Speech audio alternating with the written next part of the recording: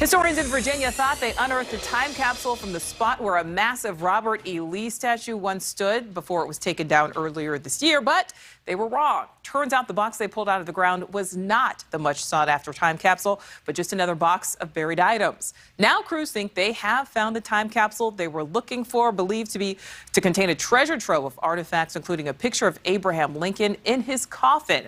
Sabrina Shutters from our station in Richmond shows us what's next to find out if this discovery is legit. After hours of drilling, and scraping concrete.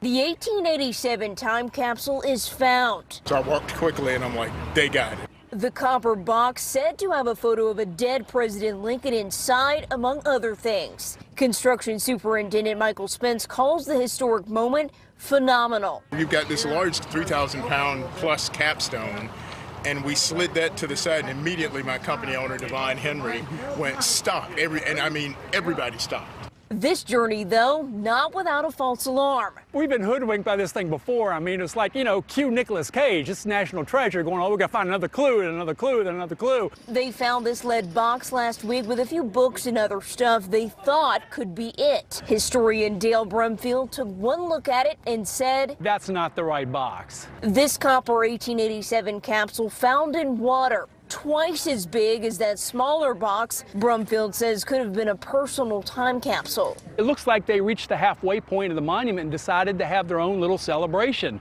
uh, to commemorate themselves. Thank you so much for watching. Make sure to click on the red subscribe button below so you can get more of News Nation's fact driven, unbiased coverage.